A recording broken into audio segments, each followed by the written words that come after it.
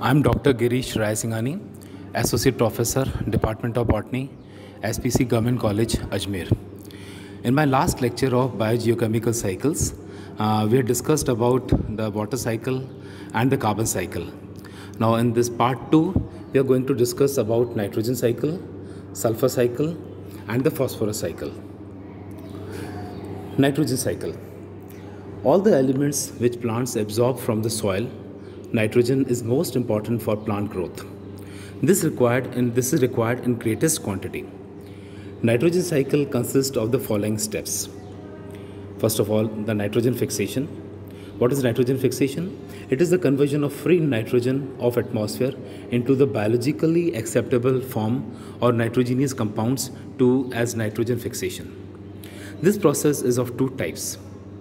One, physiochemical or non-biological nitrogen fixation and the other is biological nitrogen fixation. In physiochemical process of nitrogen fixation of atmospheric nitrogen, it combines with oxygen as ozone during the lightning or electrical discharges in the clouds and produces different nitrogen oxides. These nitrogen oxides get dissolved in rainwater and on reaching Earth's surface, they react with mineral compounds to form nitrates and their nitrogenous compounds. During combustion of various types, some nitrogenous compounds are formed which are washed down along with rainwater. Biological nitrogen fixation is carried out by certain prokaryotes. Some blue-green algae fix significant amounts of nitrogen in ocean, lakes and soils. Symbiotic bacteria inhabiting the root nodules of legumes and a number of other non-leguminous genera and symbiotic blue-green algae found in free state or in thalli of Anthoceros, Salvinia, Azolla, coralloid roots of Cycas fix atmospheric nitrogen. Nitrogen assimilation. Inorganic nitrogen in the form of nitrates, nitrites, and ammonia is absorbed by the green plants and converted into nitrogenous organic compounds. Animals derive their nitrogen requirement from the plant proteins. Third point is ammonification. The dead organic remains of plants and animals, excreta of animals, are acted upon by a number of microorganisms, especially actinomycetes and bacilli, Bacillus ramosus, Bacilli vulgaris. These organisms utilize organic compounds in their metabolism and release ammonia. Fourth is nitrification. Certain bacteria such as Nitrosomonas, Nitrococcus, and Nitrospira in oceans and soils convert ammonia into nitrites and then nitrites into nitrates. These bacteria primarily use the energy of dead organic matter in their metabolism. Fifth point is denitrification. Ammonia and nitrates are converted into free nitrogen by certain microbes. This process is referred to as denitrification. Now, if we talk about impact of human activities on nitrogen cycle, we add large amount of nitric oxide into the atmosphere by burning any fuel at high temperatures, which helps nitrogen and oxygen to combine. In the atmosphere, NO can be converted into NO2 that is nitrite gas and HNO3 nitric acid which returns to the earth's surface as damaging acid rains. We add N2O to atmosphere through the action of anaerobic bacteria on livestock waste and commercial inorganic fertilizers applied to the soil. This gas can warm the atmosphere and deplete ozone in the stratosphere. We release large amounts of nitrogen stored in soils and plants as gaseous compounds into the troposphere through destruction of forests, grasslands, and wastelands. We impair aquatic ecosystems by adding excess nitrates in agricultural runoff and discharges from municipal sewage systems. Next is the sulfur cycle.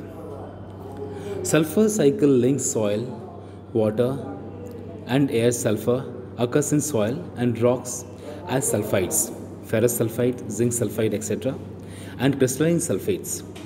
In the atmosphere, sulfur occurs in the forms of SO2 and H2S.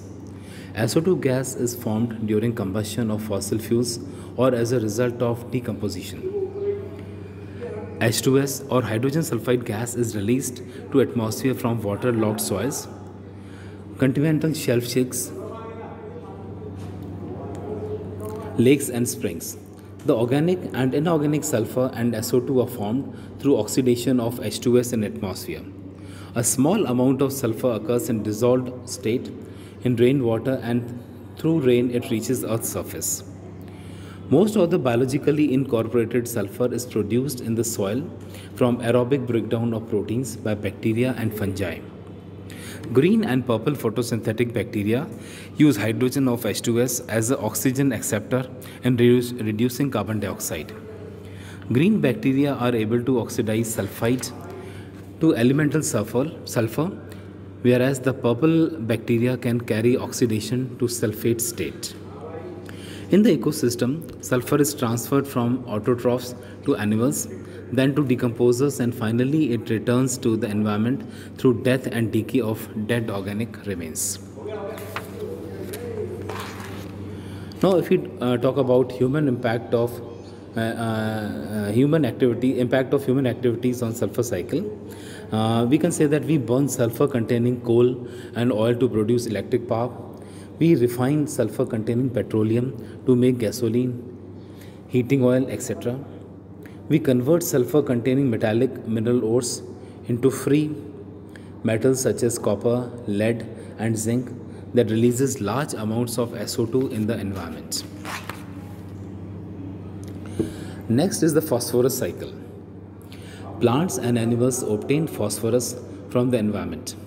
Phosphorus is a component of nucleic acids ADP, ATP, NADP, phospholipids, etc.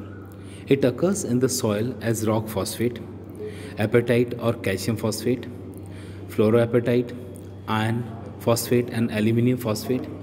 Soils derived from the rock beds rich in phosphates are rich in phosphorus. The dissolved phosphorus is absorbed by plants and converted to organic form.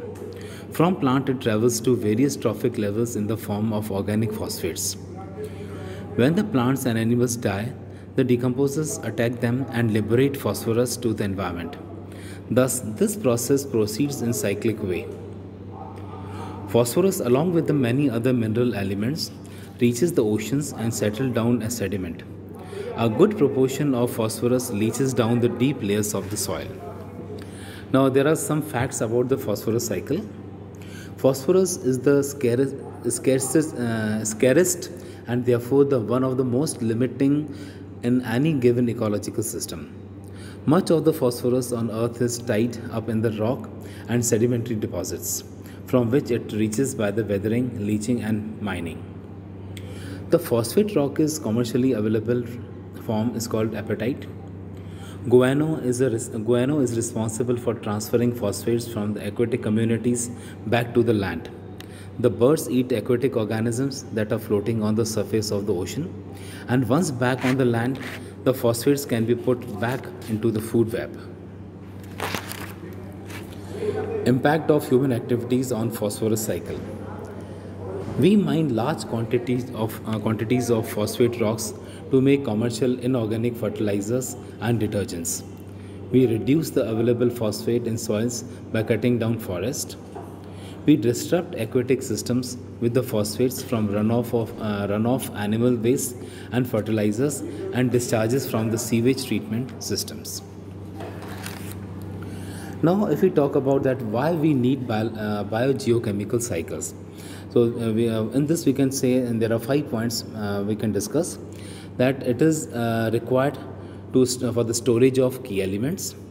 It is required to trans for the transport of key elements to make the key elements available for organisms and to balance the ecosystem and to recycle the energy.